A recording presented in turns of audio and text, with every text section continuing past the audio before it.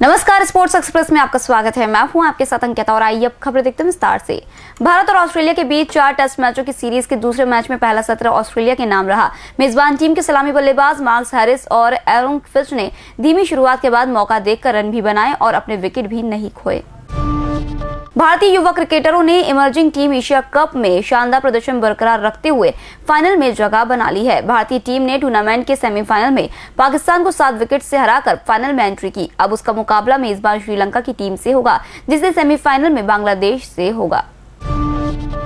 पिछले तिरयालीस साल में पहली बार विश्व कप में पदक जीतने का भारतीय हॉकी टीम का सपना गुरुवार को क्वार्टर फाइनल में तीन बार की चैंपियन नीदरलैंड्स को एक दो से मिली हार के साथ टूट गया। मुकाबले में डच टीम का अनुभव मेजबान टीम पर भारी पड़ा।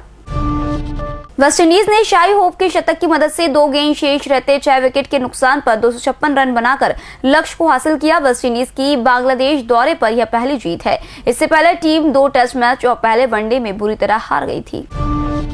ऑस्ट्रेलिया के पूर्व तेज गेंदबाज मिशेल जॉनसन ने वर्तमान में टीम के तेज गेंदबाजी के आधार स्तंभ मिशेल स्टार को मदद की पेशकश की है ताकि वह भारत के पर्थ में होने वाले दूसरे टेस्ट से पहले लय हासिल कर सके।